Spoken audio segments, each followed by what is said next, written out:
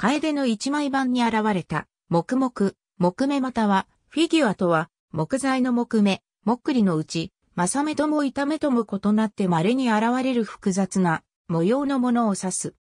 その希少価値、神秘的価値から珍重される。原木の中で生ずる、局部的なねじれや湾曲のある箇所、または、コブの部分などを切り出した際に現れ、これは木の切り出し方によっても決定的な影響を受ける。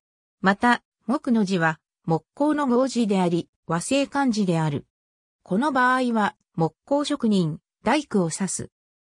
奈良などのトラフ、カエデなどの鳥眼木、土地の木やカエデなどの波状木や縮み木、ケヤキなどの玉木、春ニレのブドウ木、ツゲの木の虎木、クジャク木などが知られる。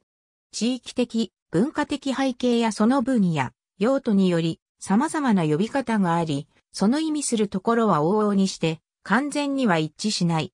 ここでは西洋の呼び名と日本での呼び名の対応を大まかに示す。バード、SI バーズアイ。鳥の目の意。鳥眼目。日本の木材業者の間では、バーザイと名まる場合も。ブリスターブリスター。火膨れ、水膨れの意。バーズアイより大きく、キルトよりは小さい円形。バールバール。コブ。カールカール、縮み。リボンのようにねじれたものを、特に、リボンカール、ねじれ木、曲がり木などと呼ぶ。ディンプルさざ波の意。波状木。フィデルバックフィドルすなわちバイオリンの裏板を指す。カエデ材の縮み木。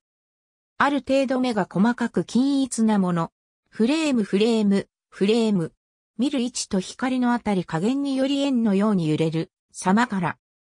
ある程度の目の太さを持ったものを指す。特に太いものをワイドフレームとも。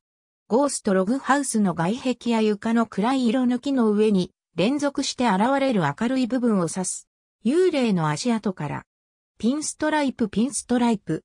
かなり細めで直線的な縞模様を指す。日本では縮み目は一寸八縮みが理想であるとする言い回しがあるが、その程度からさらに細いものまでを含む。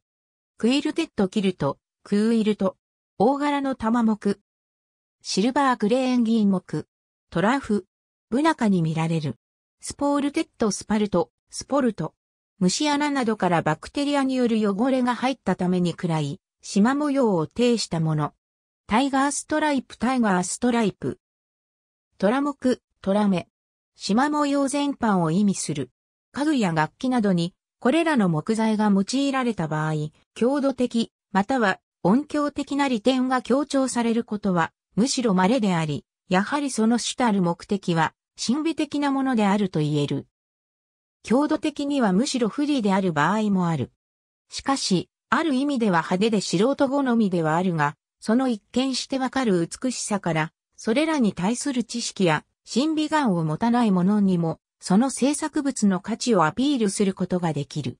そのため、価値がわからない者が所有、保管するに至った際にも、大切に取り扱われる可能性が増え、何世代にもわたって使われる製品の製品寿命を伸ばすことにつながりうる。見た目にも美しいバイオリンの名機などの場合は機能と音色が損なわれずに成熟し、長期的価値が伸びていく可能性が増す。